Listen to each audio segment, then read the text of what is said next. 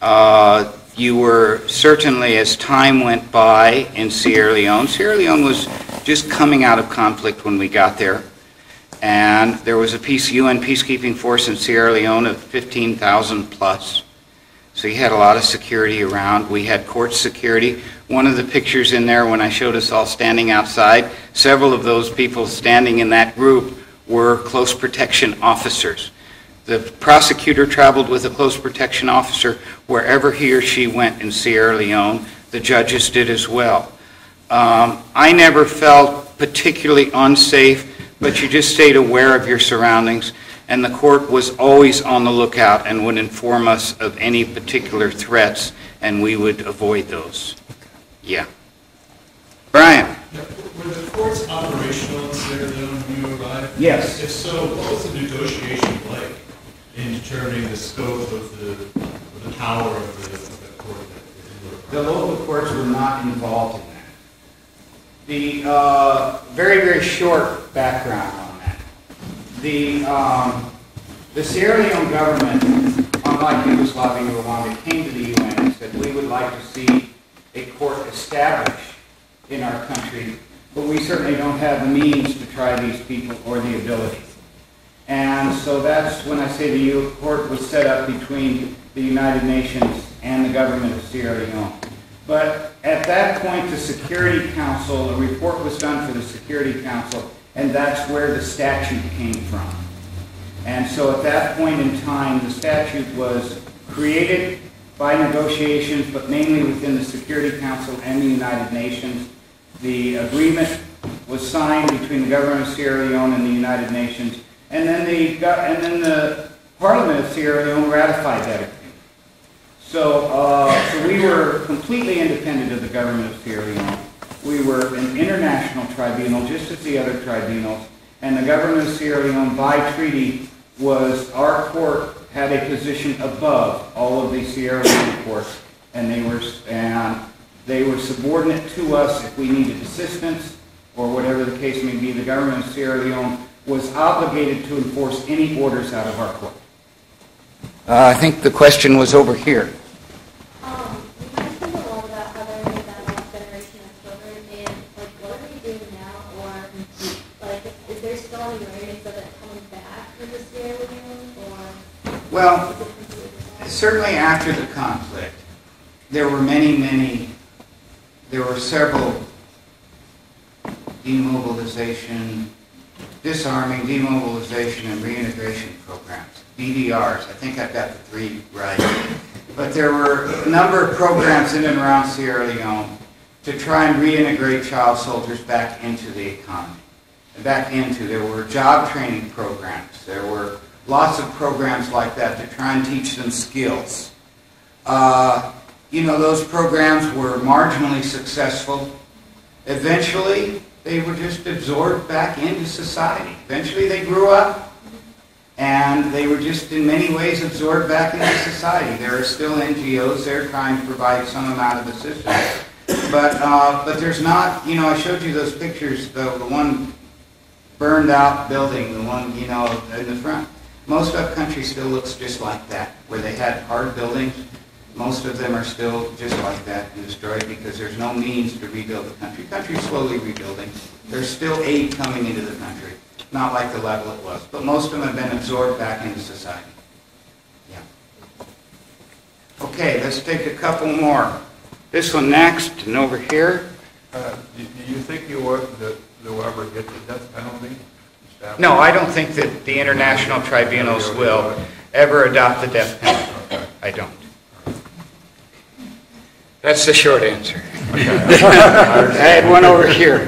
Benefit of hindsight, with the 10 years that you spent in country, knowing how effective you have been and where you are now, if you were offered the job again, you know, you know, would you say yes? Well, it's not a matter of knowing what I know. Knowing, I mean, you know, the work was rewarding. You felt like you were doing something. You felt like you were making a difference. So it, it's not so much that I would still feel that way going back, but uh, but it was time for me to come home. and, and, and, you know, that's a long time over. And I stayed to the end because I wanted to see the trials through, and that was a number of years longer than we ever expected those trials to last.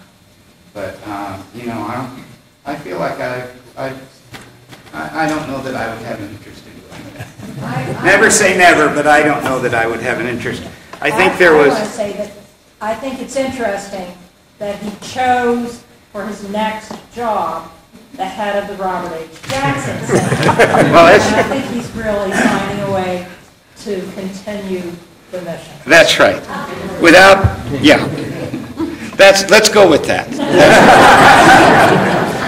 And, and, uh, yeah. If you had to uh, enforce a subpoena against somebody like Naomi Campbell, how would you do it? Well, you see, that's, that's one of the differences between our court and the other international tribunals. Countries are asked to enforce our subpoenas. Nigeria, of course, did not. They did not support our arrest warrant. Uh, But, um, but countries, uh, we did not have an enforcement authority to our court from the UN Security Council, generally speaking. I mean, our orders, Rwanda and- Yugoslavia, because they were created by the Security Council, they have the enforcement powers of the Security Council. So their subpoenas, their arrest warrants took, had the weight of the Security Council behind them. Uh, Not that that always did them any good. As you can see, their success in bringing in some of their indictees that are still at large. Uh, We kind of had, for ours to be enforceable in any other country as a legal obligation, the Security Council would have had to act on our order. But countries still had, and let's say, a moral obligation, because we were an international tribunal, we were created under the Security Council to enforce our orders. And Naomi Campbell's home is in London. The United Kingdom was one of the biggest supporters of our court uh, monetarily. The U.S. funded our court, the United Kingdom was number two. And I think that if we had asked the United Kingdom to enforce a subpoena in their country, they probably would have done it. It didn't come to that. She came voluntarily. Yeah. Okay, I think I had, we're probably running out of time. I think I had, did I have one more question over here? I was going to ask how the court responded, it was through the UN. The court, uh, the court, our court, the Yugoslavia and Rwanda were set up and funded by the UN, and your con- the country's contributions to the UN paid for those courts. For most of the life of the Court of Sierra Leone, it was funded by voluntary contributions from countries wanting to see us do our work. The U.S. was the biggest contributor. The United Kingdom was number two. The Netherlands was a big one. There, Canada was a big one. Several countries that were big uh, contributors. For several years during the life of our court, the UN did have to fund it and give uh, a subvention grant through the UN to fund our courts because that was a little donor fatigue might be the best way to describe it. And so the UN came through and ensured that we had operating funds to continue our work. Okay, yes, one more. I just wanted to ask, do you have any idea how much it costs to do that over the nine and a half years? Is there any kind of total? Sure, sure. And I tried not to pay attention to that. Um, I think our court was somewhere around two hundred million dollars, probably. Now, we did our work in ten years for what it's costing some of those other tribunals for one year, so we were, we were. Okay, what I will do is, I've got a great, uh, I'll put on a little video here. It's about child soldiers.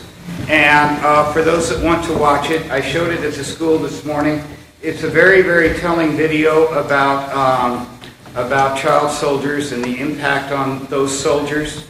And one commander of child soldier units test, uh, talking about why he liked child soldiers and why he used child soldiers. So I will put it on here in a minute. Uh, hopefully we'll get the sound out of it. It's not hooked up to a sound system, but I'll try to put the microphone up, and so hopefully we'll work that. But we'll start that just as soon as we finish, for those that would like to see it.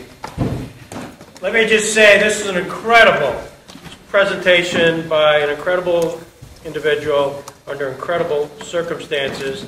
Uh, I'm just thrilled, Jim, that you make this presentation on the 121st Robert H. Jackson birthday, because it is a direct legacy of what Justice Jackson did in Warren, to what you did, your services. And you must know that these are real humanitarians. The, the lawyers who commit their lives to conducting and prosecuting international humanitarian law are cut above most other lawyers. Lawyer, other lawyers, uh, excuse me, but, uh, sorry, guys. But, yeah, yeah. So, you know, really, it's, Jim, thank you very much, because you, you notice,